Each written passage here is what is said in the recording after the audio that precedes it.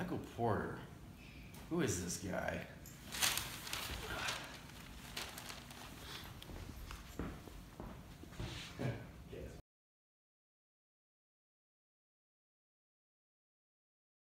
Michael Porter. I'll show you this guy.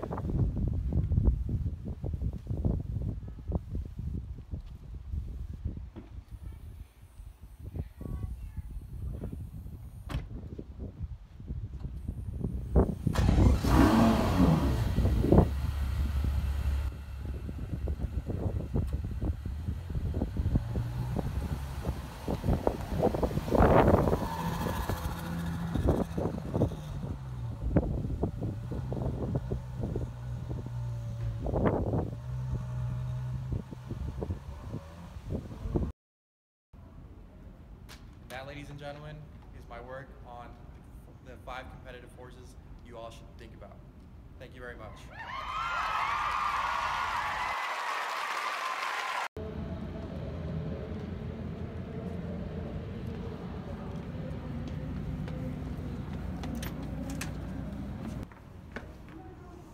Crap, I'm late.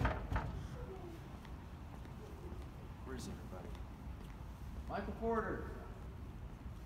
Michael Porter, sir. Mr. Porter. Sorry, Mr. Porter, sir. Excuse me. I'm sorry, I, I can't talk. Sorry. I just have a few questions. I just want to talk to you for just one second. That's all I need. Just a little bit of your time. Just a little bit of your time. Mr. Porter, I'm Bruce Kogut. It's so nice to meet you. Nice to meet you as well, son.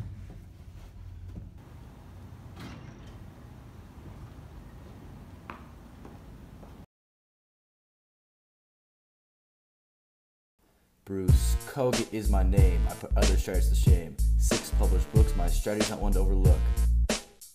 So, my friends, step closer. Come hear me. Real options theory.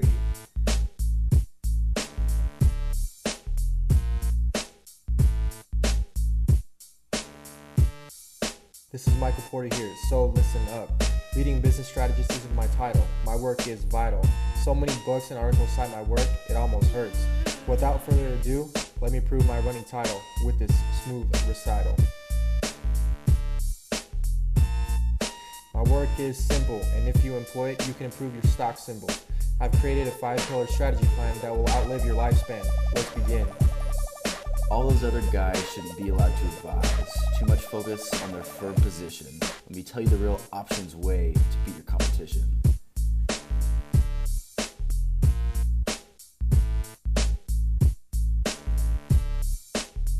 Warn you about that company next door. They want to see you poor. Sure, you might think they mind their own business, but your company going under would be better than Christmas. Second, I hate to break it to you, but new entrants are coming into your field of view. But my friend, don't sweat it. You can fight back. Brand loyalty and high barriers to entry, you don't lack. Future opportunities can be your best friend. Invest in your capabilities, setting yourself up for the next big trend. Physical assets, human competence, organizational capabilities. By investing in these, you'll create so many possibilities.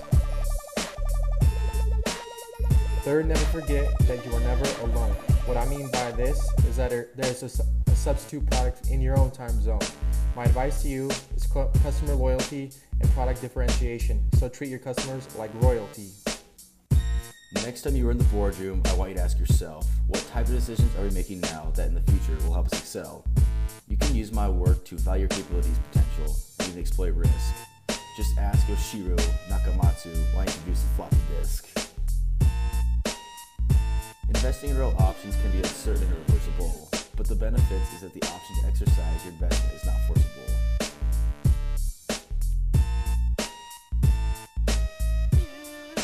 If you exercise that option, you bet you'll make a fortune, taking advantage of scarce, rare, and imperfectly imitable resources Those suppliers you thought you were friends, well, they only care about those dividends. I know this this may be hard to swallow, but your relationships are actually quite hollow. So make sure you have more than one option before your company goes out for auction.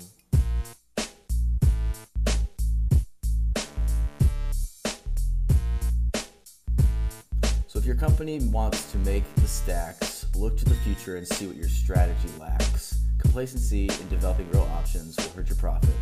Please heed to my words before you're sentenced to the past CEO composite. And fifth, you gotta keep a watchful eye on those pesky buyers, making sure you fulfill their greatest desires. Never, never underestimate a buyer's special power. It can rain down on your profit like a meteor shower. But you can defend yourself, but it may be tricky. Ensure that your service is quickie and your products are sticky. Now that I've shared my knowledge and wisdom, and not to mention this sweet rhythm, I need you to promise me that you'll make the right decision. Michael Porter out.